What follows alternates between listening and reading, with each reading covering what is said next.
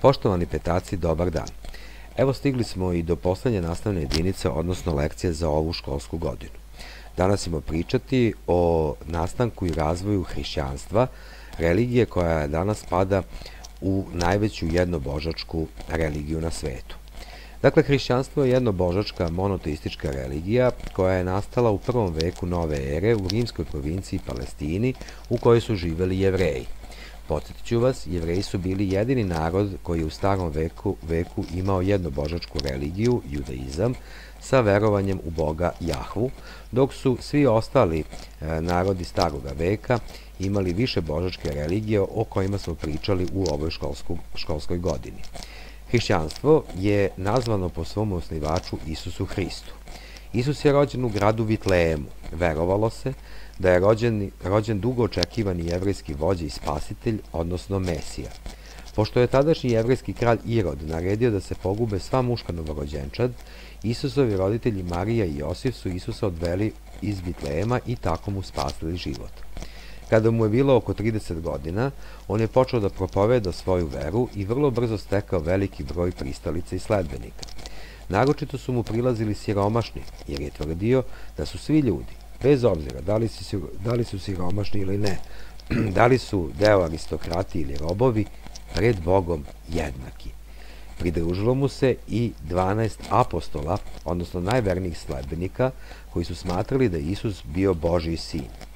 Hristovo učenje je brzo postalo opasno po Rimljane, jer je okupljalo sirotinju, koji su po mišljenju Rimljana ujedinjeni oko vere Isusa mogli da krenu u rušenje države i do tada zvanične rimske religije. Jedan od apostola, Juda, je izdao Isusa po verovanju za 30 srebrnjaka i predao ga rimskim vlastima. Na čelu provincije Palestine tada je bio rimski namestnik Pontije Pilata. On je, Pontije Pilat. On je Isusa osudio na smrt tako što će biti razapet na krstu na brdu Golgoti kod Jerusalima. Krst je prema verovanju hrišćana simbol koji predstavlja vezu između Boga i ljudi. Apostoli, među kojima i Isusova majka Marija i brat Jakov, su tvrdili da je Isus tri dana posle raspeća vaskrsao i uzdigao se na nebo i tako postao besmrtan. U narednom periodu hrišćanstvo se brzo širilo po celom rimskom carstvu. Siromašni ljudi su u hrišćanstvu imali utehu, jer je ono obećavalo sreću na drugom svetu posle smrti. Po verovanju hrišćana doći će kraj sveta i takozvani strašni sud, kada će duše mrtvih vaskrsnuti da bi pravednici otišli u raj, a grešnici u pakao. Hrišćanstvo je zasnovano na širenju ljubavi i praštanju, međusobnom uvažavanju i pomaganju. Hrišćani su se okupljali u zajednicama, odnosno crkvama, gde su se molili.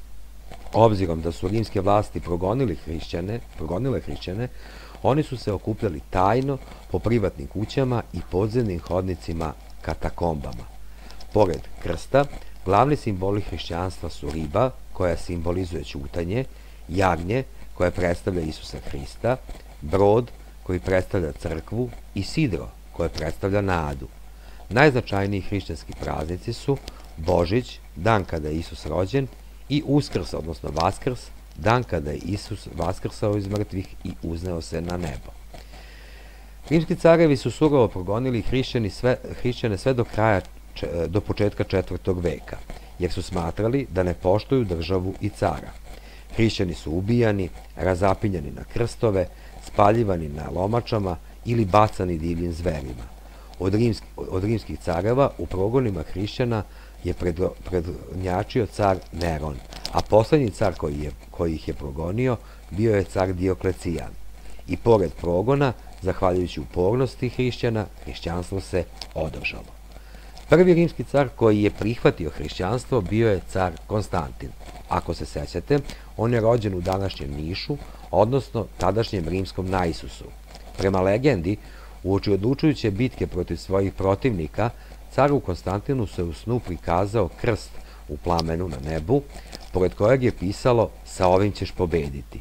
Iz tog razloga Konstantin je naredio da se napravi veliki krst koji su njegovi vojnici nosili na ratnim zastavama. Posle pobede u bici, Konstantin je 313. godine objavio Milanski edikt kojim je izjednačio sve vere u rimskom carstvu, odnosno hrišćanima je, do, hrišćanima je dozvolio da slobodno ispovedaju svoju veru. Konačnu pobedu hrišćani su ostvarili 391. godine, naravno nove ere, kada je car Teodosije I proglasio hrišćanstvo za jedinu državnu veru i kada je zabranio poštovanje stare višebožačke religije i starih rimskih bogova. Celo hrišćansko učenje nalazi se u Svetom pismu, odnosno Bibliji. Bibliju čine Stari i Novi Zavet. U Starom Zavetu nalazi se učenje judaističke religije, a Novi Zavet sadrži Hristovo učenje. Novi Zavet napisali su evanđelisti Matej, Marko, Luka i Jovan. Sastoji se iz četiri evanđelja, po Mateju, Marku, Luci i Jovanu, a reč evanđelje potiče od grčke reči evangelion, što znači dobra, blaga vest. U Novom Zavetu evanđelisti su opisali događaje od rođenja Isusa Hrista pa sve do njegovog vaskrsenja iz mrtvih i vaznesenja. Opisan je silazak Svetog Duha na prve Hristove učenike, apostole i njihovo propovedanje njegovog imena i nauke. U njima je ukazano na sve ono što će se dogoditi do drugog dolaska Hristovog i strašnog suda. Hrišćanstvo je danas jedna od tri najveće jednobožačke religije na svetu uz islam i budizam. U šestom razredu ćete vidjeti kako su hrišćanska vera i crkva postali dominantni u srednjem veku, ali i kako se hrišćanska crkva u 11. veku podelila na dve crkve, pravoslavnu i katoličku, i kako je u 16. veku nastala još jedna hrišćanska crkva, protestantska. Dragi petaci, hvala vam na pažnji i svako dobro.